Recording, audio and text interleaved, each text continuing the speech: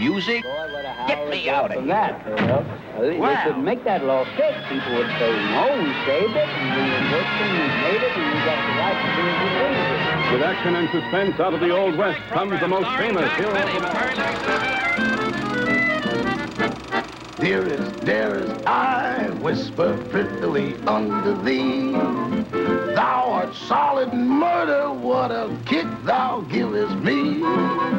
When I'm sentimental, dost thou dig my jive? I feel gallant and gentle.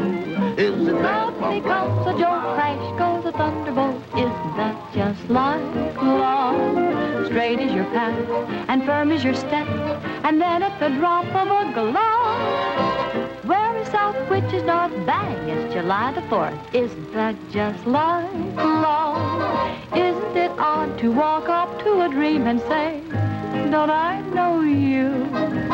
Isn't weird to hear miracles talk and say, well, how do you do? Clear is your mind and strong is your will. A mountain is simpler to show. Then the ground falls apart, boom goes your apple cart. Isn't that just like love? Colorado Springs the Way It Was is a program produced by the Pikes Peak Library District that looks back at the history of this region through old films. If you have an older film that features the history of this area you would like shown on Channel 17, please call 531-6333, extension 1170. Isn't that just like love? Isn't it just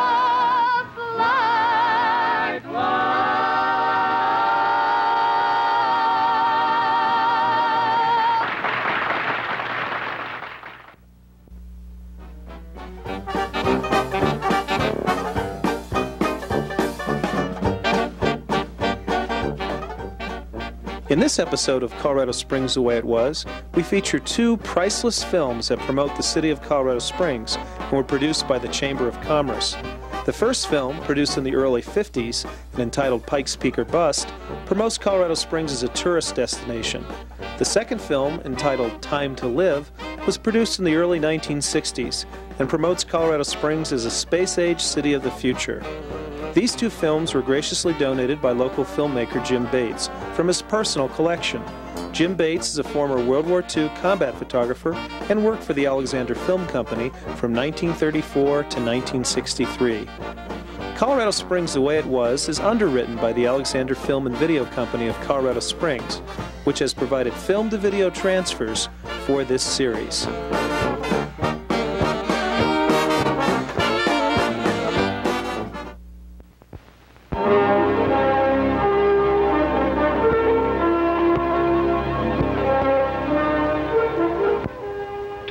Towering 18,000 feet above sea level, this famous mountain served as a beacon for westbound wagon trains more than a hundred years ago. And today, travelers from all over the world come to stay in one of the hundreds of attractive hotels and motels in Colorado Springs and vicinity, urged on by the slogan of the pioneers, Pikes Peak or Bust.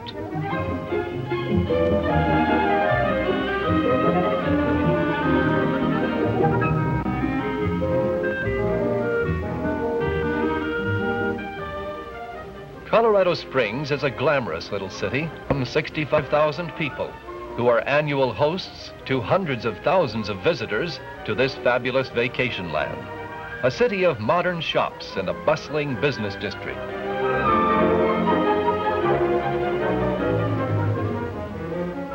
It is the home of Colorado College, the oldest liberal arts college west of the Mississippi River. It boasts a beautiful fine arts center that is outstanding. It is the site of the new Air Force Academy, the Continental Air Defense Command, and Fort Carson. It is a city of attractive homes and a hospitality that is traditionally warm and western. And Blessing and I sensed that hospitality as we drove through the city to our motel for a refreshing dip in the pool that first afternoon of our visit.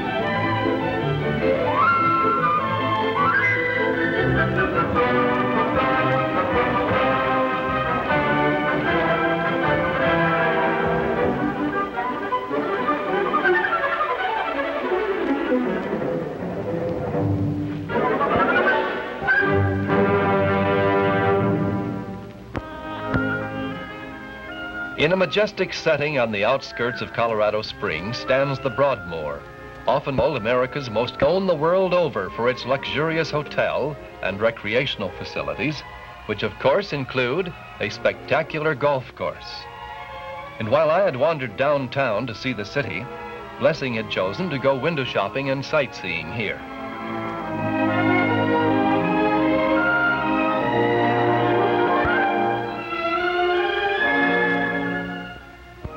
And where do you think she ended up? On Why is it a husband can never get his wife to try something like this while... That's it. Change your grip a little. Now, try again.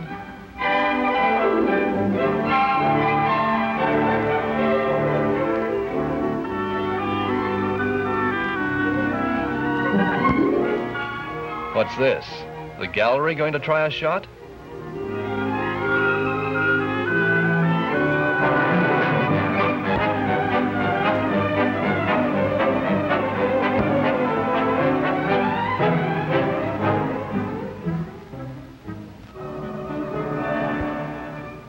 You know something?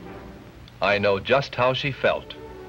But it didn't take long to put Blessing back in a good mood again when I joined her in the lobby of the Broadmoor and we walked out on the lake terrace to the exquisite lagoon behind the hotel.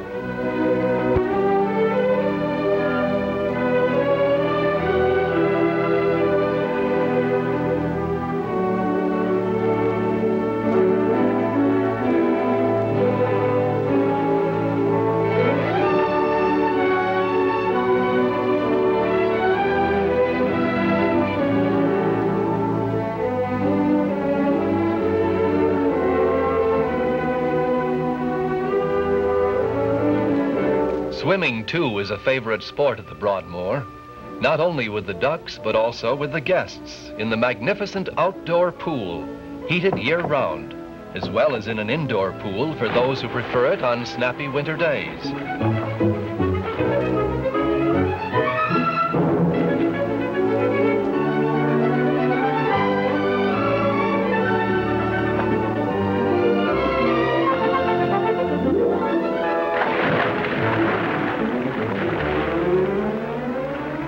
Lake is but a small part of the landscaping of the hotel grounds, lying almost in the shadow of Pikes Peak, tight against the foot of Cheyenne Mountain, America's steepest rising mountain from a level plain. Up the face of this 9,300-foot peak, engineers accomplished the impossible and built a scenic highway to the top. And near the top, Spencer Penrose, who built the Broadmoor, also conceived the Shrine of the Sun and dedicated it as a memorial to his friend Will Rogers. It took two years to build this beautiful monument, and since 1937, silvery chimes have sounded from the tower for miles across the prairie below.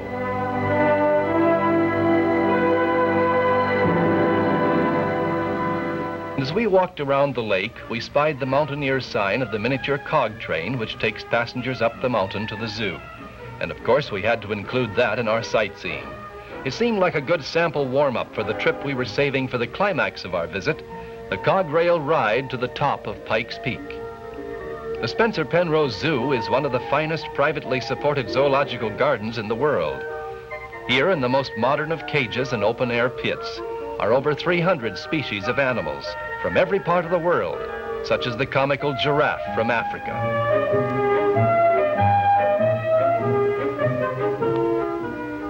The guanaco or humpless camel from South America. And the dromedary camel, ship of the desert.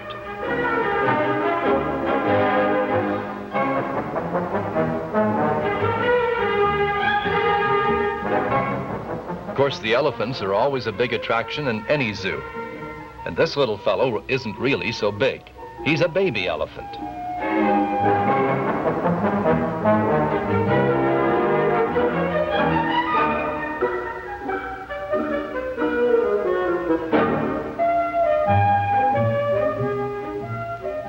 And here's a Barbary sheep from high in some far-off mountains.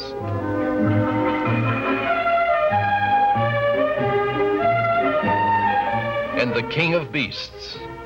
He seems a bit riled at the moment, trying to claw his way into the next cage to get at the lion there. Why? Well, we couldn't decide, but just a case of male jealousy, I'd say.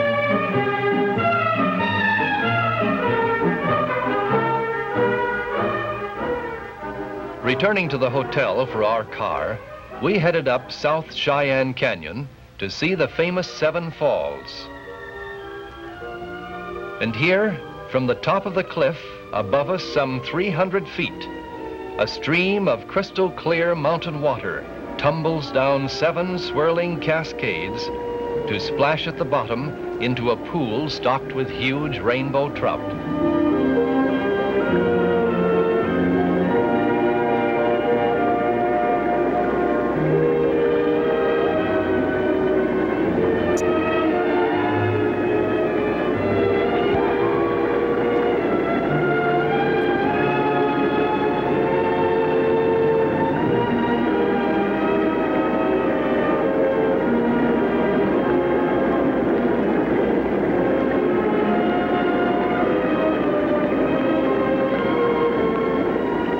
The afternoon wore on, we turned back to town, choosing the high drive for an inspiring view of the valley, with the Broadmoor and Colorado Springs laid out beneath us like a tabletop miniature.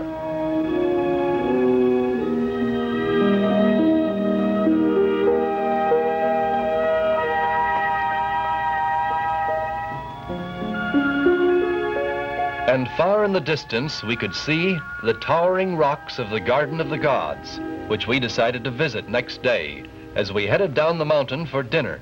A pleasant experience in this city, dotted with many fine restaurants.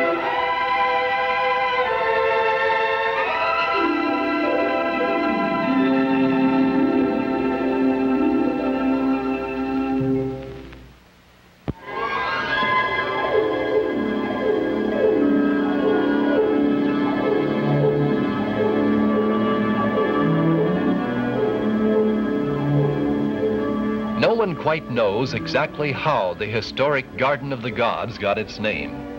Quite possibly because it is the ancient worshiping grounds of the Ute Indians. Across the plains and down from the mountains they came to hold their ceremonies in this cathedral of nature. The Indians called it Old Red Land, but we thought it perfectly named the Garden of the Gods.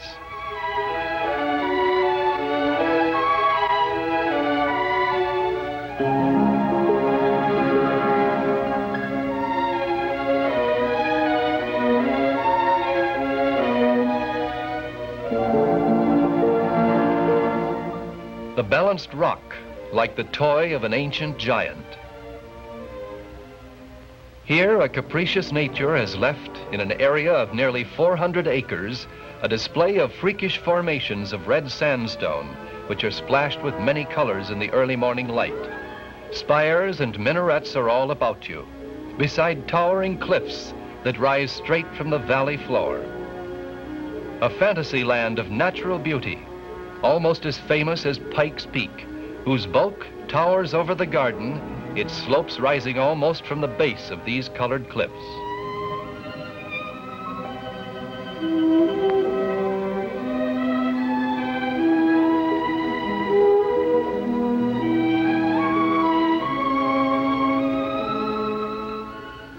Not far from the Garden of the Gods, we turned into Phantom Cliff Canyon to the Manitou Cliff Dwellings. Here we found a collection of homes, forts, kivas, and so on, preserved as an outdoor museum, the buildings of a vanished prehistoric civilization. We went inside to inspect one of the buildings, and as we came out on the trail again, we were surprised to see Indians below us. And while we watched, they started a dance for the entertainment of the visitors.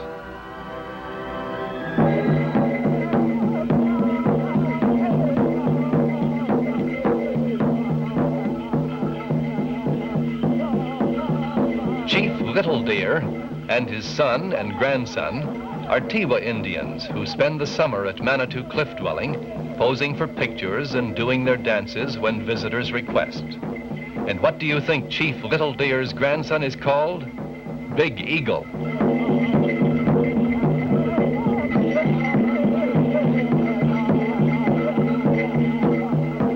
This is some of the most intricate footwork of all the Indian dances.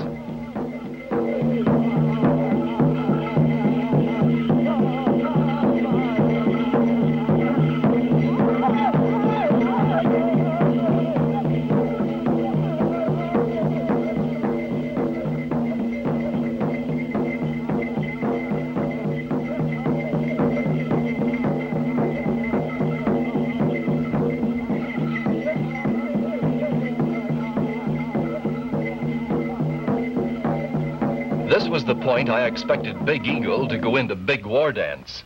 But Blessing came away with her scalp, and we drove on a short distance to Williams Canyon and the Cave of the Winds, of which we'd heard so much.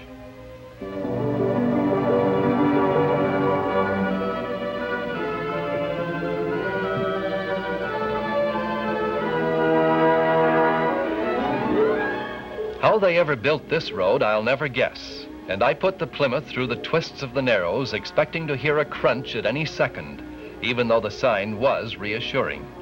Needless to say, traffic is one way. You wind along the canyon floor about a mile, then twist and turn up the side of the cliff till you reach the entrance house to the Cave of the Winds.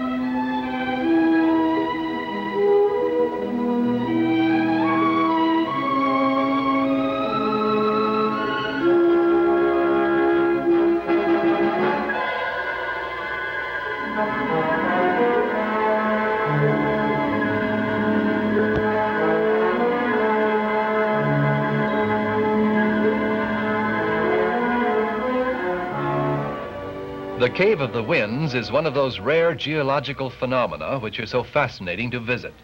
Stretching back into the mountain for a mile, a series of rooms and passageways are decorated with fascinating growths of onyx, calcite, and alabaster. Stalagmites and stalactites look like giant icicles, but there is no ice here, for the temperature in the cave is always 53 degrees.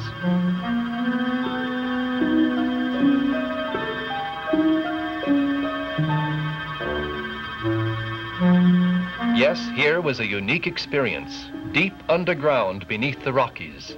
And next day we would reverse the trip and travel to the top of the nation to stand on the summit of Pikes Peak.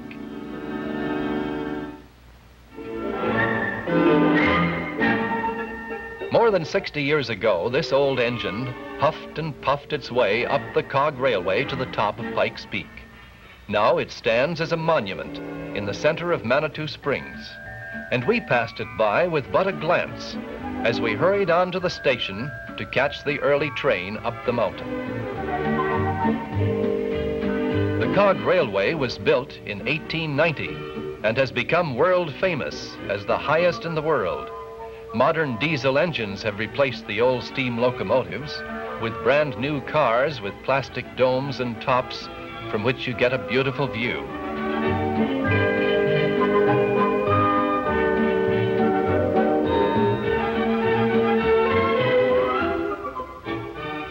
Lee Jameson, the engineer on our train, has been on this run for more than 40 years. And as he eased forward on the throttle, we were off on the ride we had heard about and dreamed of taking all our lives.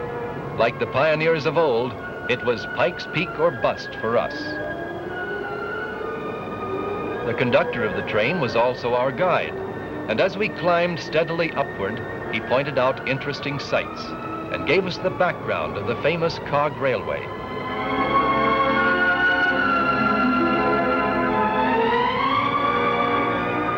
Colorado is often called the roof of the nation because it is the highest state in the Union, with an overall average altitude of 6,700 feet. 52 of the highest mountains in the country are in Colorado. And though Pikes Peak is not quite the highest of all, by a few feet only, it is surely the most famous of all America's sky-brushing mountains. It rises 14,110 feet above sea level, a mile and a half above the plain at its foot. And when Lieutenant Zebulon Pike first discovered it 150 years ago and failed in his attempts to climb it, he wrote in his diary that the forbidding mountain would never be climbed by mortal man. Yet, only 14 years later, three men reached the top of the peak. And within a few more years, a party which included the wife of one of the members reached the top. And Mrs. Julia Holmes became the first woman to stand on the famous peak.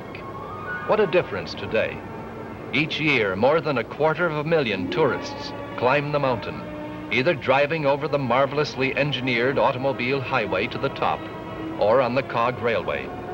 And as our train climbs steadily up and up toward the distant clouds, a changing panorama of awe-inspiring beauty passed our window.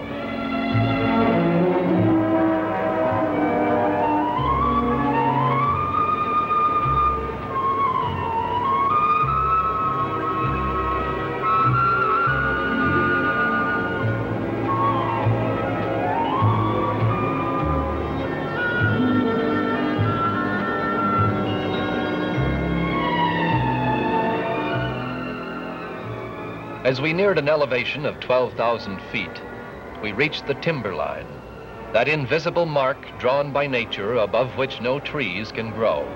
Small patches of open grass in alpine meadows, and boulders heaped into piles here and there by some glacier millions of years ago lined the tracks. Now and then a marmot or a chipmunk darted into the rocks.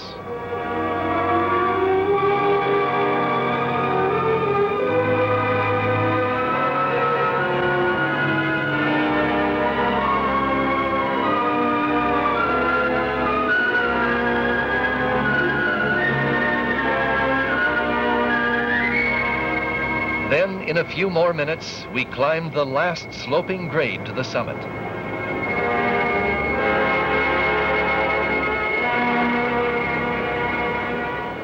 And as our cog train came to a smooth stop, Blessing and I stepped off onto the roof of the world, more than 14,000 feet in the sky. With no more effort than boarding a corner bus back home, we had climbed the mountain Lieutenant Pike said man would never conquer. And how chagrined the good lieutenant would have been could he have seen these triplets beside the summit marker. Three little fellows hardly old enough for school. Here we could almost reach out and touch the clouds. And as we looked across the distant mountains for a hundred miles or more, we too saw the purple mountain majesties, which inspired Katharine Lee Bates to write the song loved by every American, America the Beautiful. The lookout tower was our goal, for we had chosen to come here on Labor Day to watch the famous Pikes Peak hill climb, the most grueling auto race in the country. Each year, the nation's top race drivers compete in a race against time up the twisting auto roads for a racetrack.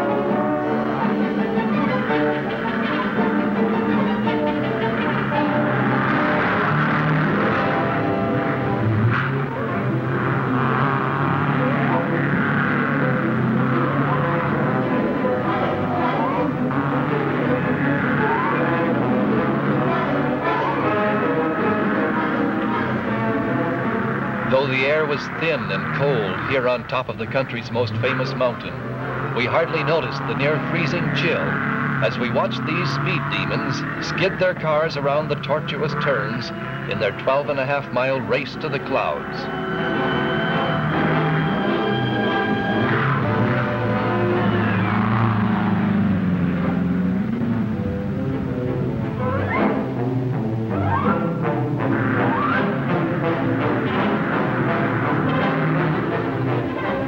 60 miles an hour was the average of the winter this year. And as we stood on top of the mountain and watched, it was a double thrill to know that at last we too had finally realized the dream those early pioneers had expressed so simply on the canvas of their wagons, Pikes Peak or bust.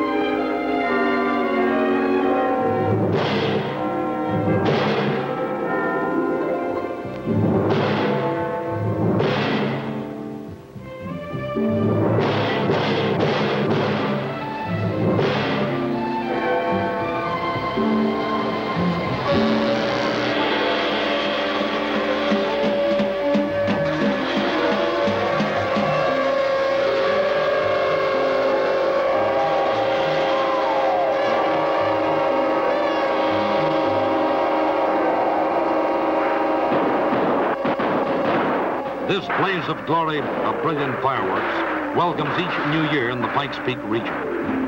Hello, this is Alex Dreier watching the new year being ushered in in a part of America that is fast becoming famous for doing the usual thing in the unusual way.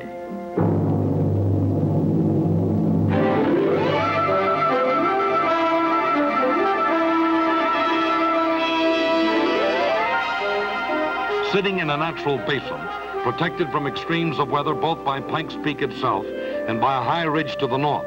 Colorado Springs and the surrounding area enjoy bright sunshine, sparkling days, and moderate nights that have made the Pikes Peak Wonderland a mecca for tourists the year round. One of the first things visitors notice is the exuberance, the fresh liveliness of the natives of Colorado Springs. If they ask, the visitors find that most of the people who live and work in this happy progressive community came here originally as tourists or as military personnel assigned to duty here and returned as soon as they could to become permanent residents. Dr. and Mrs. Morton, for instance, having spent part of his military service at nearby Fort Carson, Dr. Morton decided that Colorado Springs would be his future home. So after his tour of duty, he brought his wife, Mary, and their daughter, Joanne, to Colorado Springs to begin a new life. First, they registered in at the world-famous Broadmoor Hotel. This was Mrs. Morton's and Joanne's first visit to Colorado Springs, and Joanne, being a snow bunny at heart, had expected to find the area knee-deep in snow in January. Instead, she found that though the nights were downright nippy, the days were sunny and warm, and snow, when it did fall, soon melted away under the balmy daytime sun. However, her disappointment was short-lived because the Broadmoor makes its own snow. Makes and keeps a good deep bed of snow on Ski Broadmoor. Furthermore, ski enthusiasts, by a short drive, can reach the upper slopes of Pikes Peak, a world-famous Aspen, Winter Park, Breckenridge, Vail, and many other excellent winter-long ski areas. In addition, Ski Broadmoor is the only night-lighted ski slope in Colorado. The usual things in unusual ways. While skiers on nearby Ski Broadmoor were thrilling to skiing at its best, Doc Morton was enjoying many rounds of golf, and Joanne and Mrs. Morton were swimming in the Broadmoor's heated outdoor pool open the year round or basking in the warm Colorado sun. Yes, in this enchanted region, there's no telling what wondrous things you might see. And wherever you look at any time of the year, there are spectacular scenic views to admire.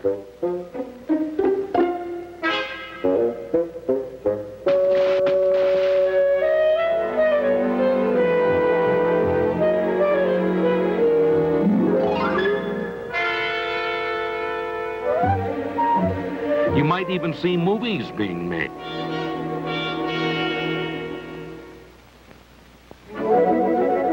Another winter sport that Joanne was able to pursue was ice skating at the Olympic-sized Broadmoor World Arena. Here she met many young people, older people, couples and singles, all enjoying the exhilarating sport of skimming around the ice.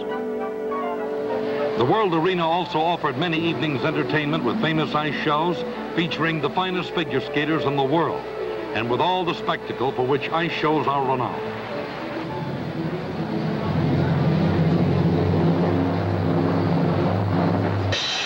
Other evenings there were championship skating events.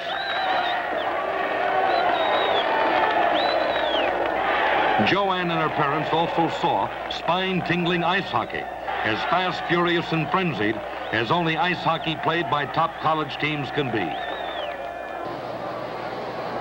At other times, the Morton family attended some of the superbly staged shows at the ultra-modern International Center. The excellent productions featured such name stars as Roger Williams, Nat King Cole, Harry Belafonte, Marlene Dietrich, Van Cliburn, and many others. Dr. Morton was further interested to learn that the International Center is rated one of the outstanding convention halls in the nation, and he made a note to contact organizations to which he belongs that they hold their conventions there. With all the activities offered by the region, they found the Daves just didn't have enough hours for all the fun available.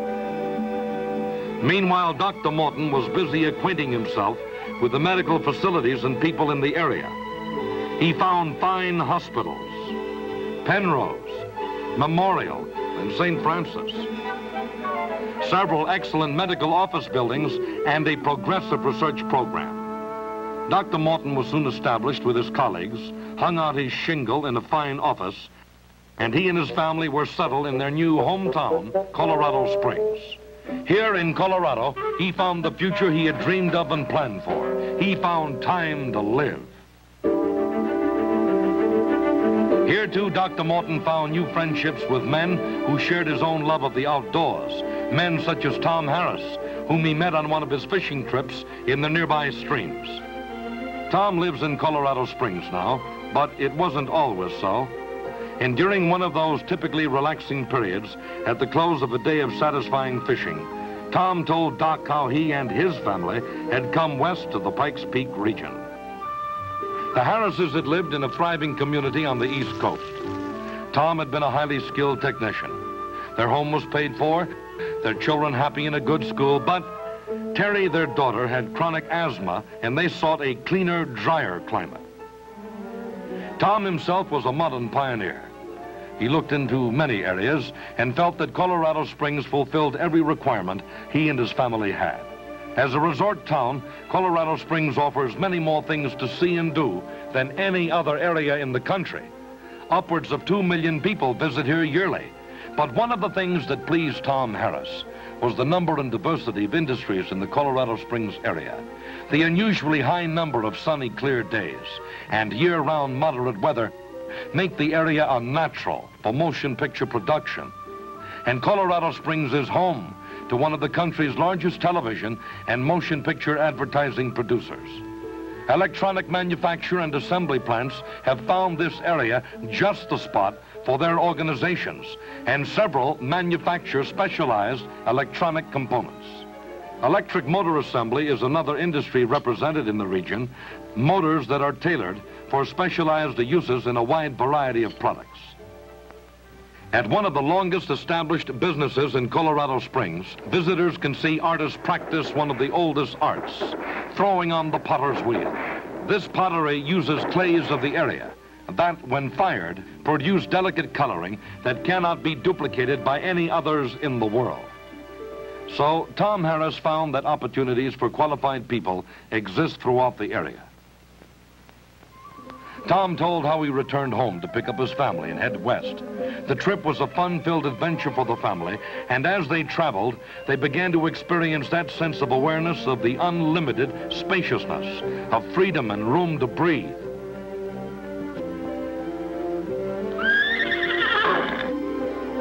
An encounter with some four-footed friends seemed to say, welcome, friends, now you're really in the great wide west. Well, when they arrived in Colorado Springs, the family too fell in love with the city and the surrounding country. Tom first sought temporary quarters for his family and found his choice unlimited. Then the Harrises looked for a permanent home.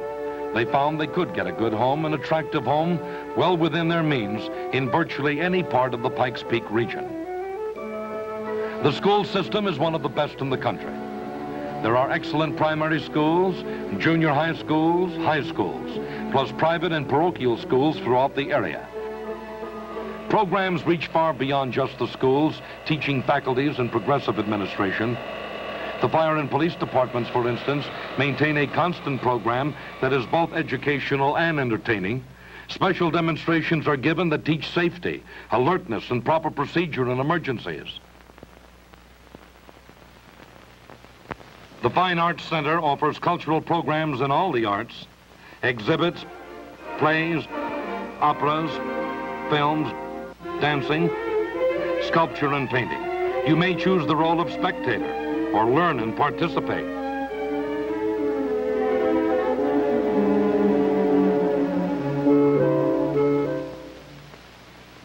More and more, Tom and his family grew to love everything about Colorado Springs. Soon the Harrises were comfortably settled in their new home. Tom back at a business he knows and likes. Young Tom is at Colorado College enjoying all the um, educational advantages college life has to offer. Terry now knows asthma only as a word she sometimes has to spell in her classes at Palmer High School. Palmer High School is named after William Jackson Palmer, founder of Colorado Springs, famous Civil War general and pioneer of the famous Denver and Rio Grande Railroad. Palmer High School itself is a memorial to the far-sightedness of the city's founder. General Palmer left to his city the philosophy of time to live. A philosophy well illustrated by rodeo time. The Pikes Peak or Bust Rodeo is a nationally famous event. Rodeo time begins with a Western breakfast, served to several thousand on the main street of downtown Colorado Springs. The breakfast signals the beginning of a razzle-dazzle wing-ding that includes scenes right out of the Old West. Indian dances and other unrestrained Wild West hoopla.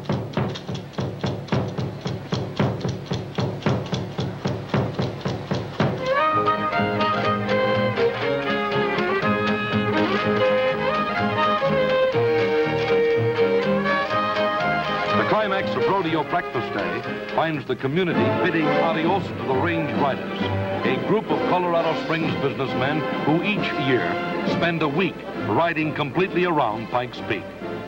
Then the rodeo parade, bright, noisy, with brilliant colors. Stirring bands, beautiful sleek horses, and all with a true Western flavor. An exciting panoply, but all just a prelude to the rodeo itself. With both afternoon and evening performances, spectators enjoy all the thrills of rough and ready, real Western ranch hand rodeo, plus thrilling show spectacles in Penrose Stadium. Yes, the rodeo is an event that residents don't and visitors should not miss. Norm Brownell, for instance, was a visitor when he saw his first rodeo. He's a regular now, since he too now calls Colorado Springs home. Norm is a golf bug with that intense love of the game that only other golf bugs can appreciate. President of an electronic component assembly business, Norm found his chances of getting in a few holes few and far between in his former hometown. And so, spent his vacations at known golfing resorts. It was such a golfing vacation that first brought Norm Brownell to Colorado Springs. And what a golfer's heaven he found it to be. The famous Broadmoor course, the new Kissing Camels course, Patty Jewett Municipal Course, and several others, all excellent and almost within sight of one another. Norm met men from all walks of life on the course and listened almost in disbelief as they insisted they golfed the year round. Norm recognized that the high, dry climate and crystal clear air made it the ideal environment for his business and pleasure. An idea formed in his mind that very summer, the idea of establishing his industry in the Colorado Springs area. Later in the summer, Norm returned to Colorado Springs with his family. To acquaint them with the region, he started them on an exciting sightseeing tour, beginning with the Will Rogers Shrine of the Sun, a memorial to the great humorist. They saw scenic Seven Falls in a canyon described as the grandest mile of scenery in the Rocky Mountains. They took the thrilling ride up the Manitou Incline Railway saw real Indians doing Indian dances and heard the entrancing history of cliff dwellings. The children were delighted to find Santa Claus's North Pole village, where tame animals wander freely, begging to be petted and fed, and where old Santa himself is in residence, waiting to greet and talk to his children. The village itself is of picturesque cottages, shops, displays that invite browsing. They took the unforgettable ride on the famous Pikes Peak Cog Railway to the very summit of Pikes Peak, 14,110 feet above sea level. Another exciting railroad ride was on the miniature train that took them to the Cheyenne Mountain Zoological Park, one of the cleanest and finest in the world. It is, in fact, rated among the top 10 in the nation, with a collection of over 700 specimens of birds, mammals, and reptiles.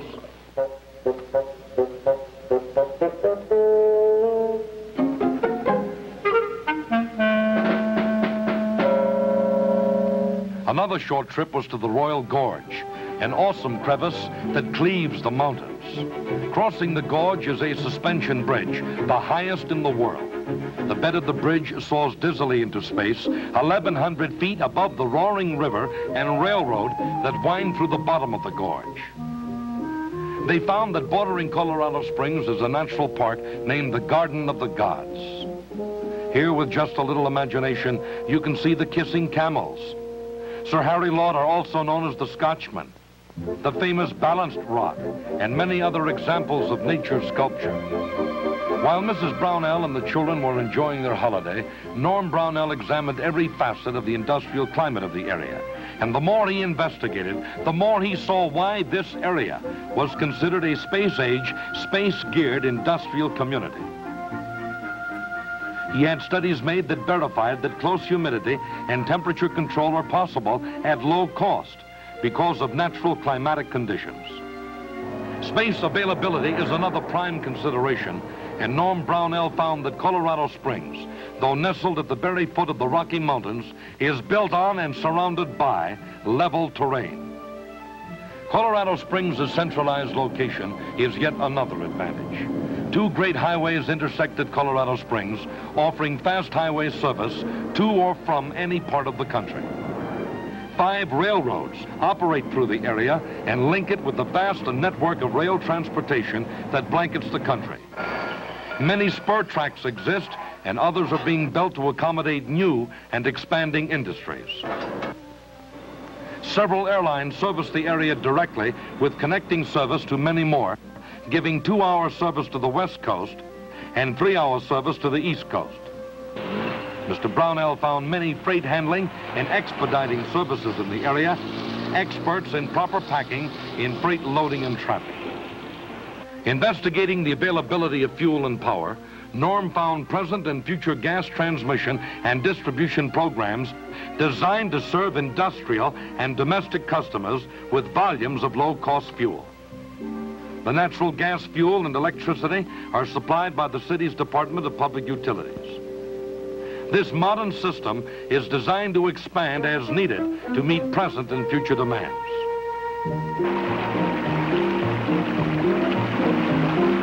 Water? Norm Brownell has found that thanks to modern engineering, Colorado Springs has developed water sources sufficient to meet the domestic and industrial requirements of the community. These developments are programmed to handle a metropolitan population of twice the present size. The watershed of Pikes Peak supplies some of it. Additional water comes from other modern developments. Satisfied with the tangible considerations of the area, Mr. Brownell looked into an intangible, the people. The productive capacity of the people of the Colorado Springs area is outstanding. Workers work harder, more enthusiastically, and deliver a full day's production for each day's pay.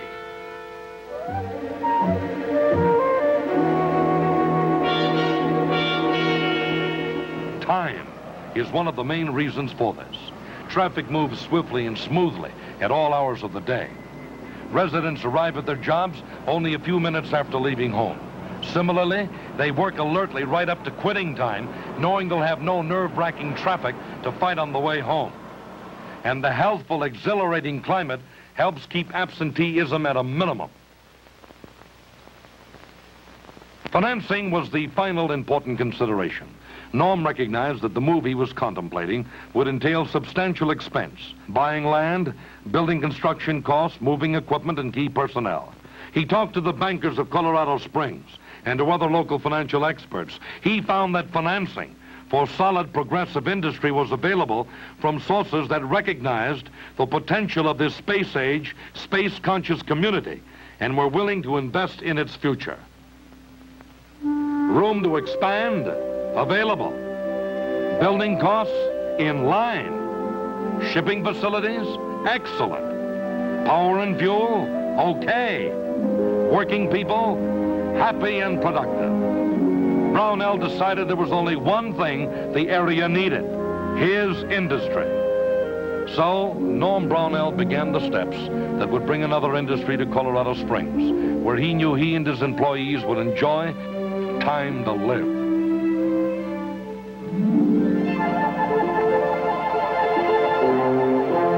Amidst a scenic grandeur that President Teddy Roosevelt once declared bankrupts the English language to describe, Norm Brownell soon developed that typical fiercely possessive pride of the people who live here. Now they too revel in showing to relatives and friends their country. They value the new friendships they have made here among people who share their enthusiasm for this way of living. Such a newfound friend is Professor Adams, whose vocation is teaching, but whose avocation is painting and collecting interesting history of this colorful area. The Brownells always feel that they are offering visitors something extra when they have an opportunity to have them meet the professor. Professor Adams, a teacher at Colorado College, is that rare breed, a native-born Colorado. The prof, as he is affectionately called by all who know him, delights in telling tales. Tales of the trek to the Pikes Peak region at the time of the gold rush. Tales as his father had told them to him of Indian attacks and other hardships suffered by pioneer settlers. Of those who didn't make it to Pikes Peak and of those who did. He knows entrancing stories of the progress of transportation, from the early narrow gauge railroad days, including the struggles for power of railroad giants for the right of way through unbelievably majestic Royal Gorge. Born when the Pikes Peak gold rush was at its height, the professor saw the gold mining towns of Victor and Cripple Creek when they were lusty, brawling frontier towns. Here, Jack Dempsey worked as a mucker. Gallagher and Sheehan were streetcar men. Texas Guinan introduced her insolent greeting, hello, sucker. Groucho Marx delivered meat and groceries. And Lowell Thomas spent a part of his boyhood earning money by knocking on miners' doors to awaken them in time to report for their shifts in the mines. The professor saw these towns prosper, then fade and almost die. Another example of continued progress near to the professor's heart is that of his beloved Colorado College. He has watched it grow from that little liberal arts college out west to its eminence today as one of the finest in the country. The prof has seen the men who guide the military might of our country choose this area for Fort Carson and for the site of the United States Air Force Academy. Encompassing almost 20,000 acres, the Air Force Academy is, in effect, a city in itself.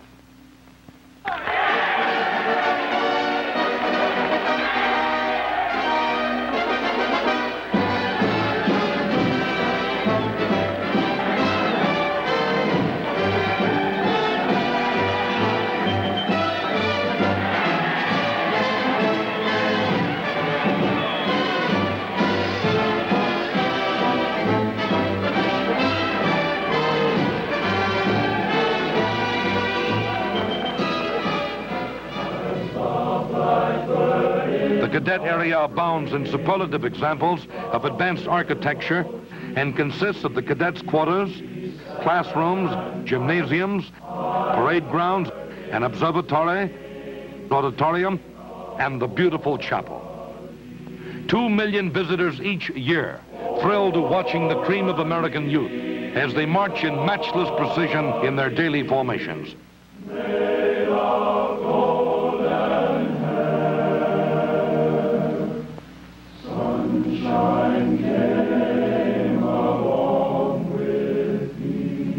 Only the best can qualify for admission to the academy, and only the best of the best graduate in the stirring ceremonies at the end of their four-year training and education.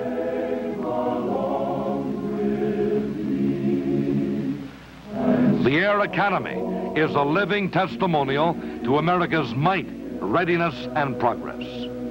Another is Ent Air Base, which is headquarters for NORAD, the Air Defense Center of the North American continent. The headquarters for this amazingly complex, fast-reacting system is buried deep within the rocky fastness of Cheyenne Mountain. To Professor Adams, the selection of the Pikes Peak area for important military installations was the most logical selection that could have been made. He knows, too, that it's the logical choice for the site of many types of industry and business. The perfect place to live and play. Yes, perhaps better than anyone else, Professor Adams knows how much the Pikes Peak region offers. He has seen it grow from a sleepy little tourist town to a bustling vacationer's paradise the year round, has seen it become an ideal convention site offering endless variety of accommodations, good food, as plain or fancy as appetite dictates, a choice of meeting spaces for groups large or small. And of all the traditions and history of the area, the professor has enjoyed most. Watching those who come here discover time to live and adopt the philosophy that there are no strangers in Colorado Springs, only friends you haven't met yet. This then is the story of four men, their families, their associates. These men, the thousands like them and all the people of the region invite you to come to the Pikes Peak area. Come as a tourist guest for the greatest vacation you've ever spent. Come as a conventioner or as advance man to find out about all the region offers for a successful convention. Come as a businessman to see what the area can do for your business, your industry. Talk to Colorado Springs businessmen, to the bankers, to the policemen, the service station attendants, to the people. You'll find they all share a zestful living, a genuine warmth and friendliness because they have something they'd like to share with you. Time to work time to play, time to rest. This is the place where there is time to live.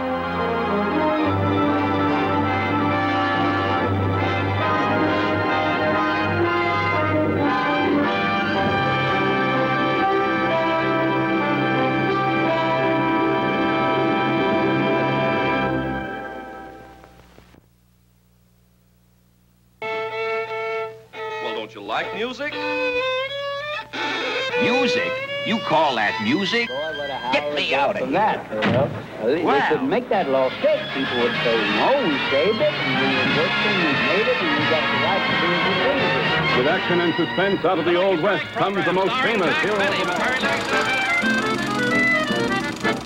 Dearest, dearest, I whisper prettily unto thee.